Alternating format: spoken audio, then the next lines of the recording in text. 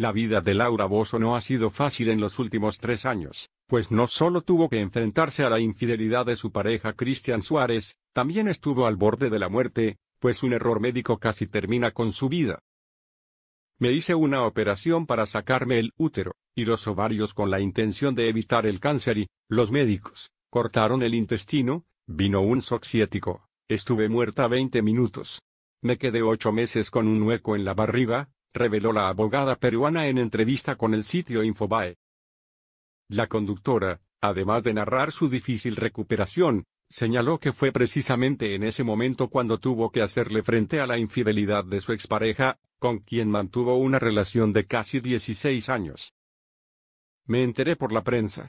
Estaba en mi cama con él, y me llamó un periodista de Perú y me dijo, Laura, acaban de sacar las fotos de él con una argentina y las declaraciones del hermano de Cristian, porque fue su hermano, su sangre, el que vendió, mencionó. Con respecto a su vida profesional, Laura Bozo aseguró que aún le quedan muchos años más en la televisión, por lo que espera regresar pronto a la pantalla chica. Christian Suarez had been completely silent after news broke a split from Laura Bozo after a 17-year relationship, is now talking about the breakup and reveal that it was his brother that started this whole mess. Immorting by everything that is being said, et all cuéntamelo ya. It doesn't make sense that they talk about an image that doesn't say anything. My mom took that photo and they were stole from her cell phone. I am going to send my brother to jail for what he did. It's very hurtful when you say that your own family is playing against you. Zuárez also added, E is ungrateful because he lived in my house for 10 years without paying anything. He says that he doesn't owe Laura Bozzo anything, but he owes her everything because thanks to Laura I was able to buy my mom a house, my daughter an apartment. I was able to do all that by working by Laura's side and I feel it's not fair. I would never say I was never unfaithful, I know who I am, period. It's just simply something that was made up in the press. Laura Bozzo found out that Christian was chatting on her when she was being interviewed on a television show via telephone. He had no idea of this relationship of two years that Christian had with this woman, se said on the show Beto a saber via telephone. He had no idea. He is in the best. According to the Beto a saber host, the woman is called Adriana Amiel and lives in the city of Miami.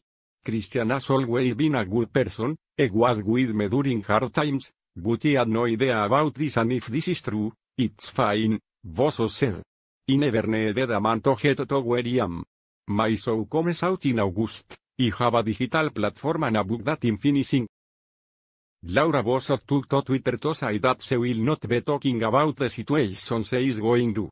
I want to inform that you will not be making any declarations in respect to Christian and topics without foundation. I am very happy, she wrote. Bozzo also added a cryptic message that gives way to the rumor mill. Gold takes away, but when he gives back a multiplies it, she wrote. Thank you to life that has given me so much. The talk show host refused to slam Christian Zuárez in the press and only as kind words for him. I hope is happy if he's really in love with that woman, she told the Televisa morning show. I have the best communication with him, I would never talk bad about him. I know that he would never talk bad about me because that's not his style. In any case, they say that he was chatting on my, so he is the one that needs to talk, not me. Who do I have to do with it? Who the machismo? Woman always have to talk, no, let him speak.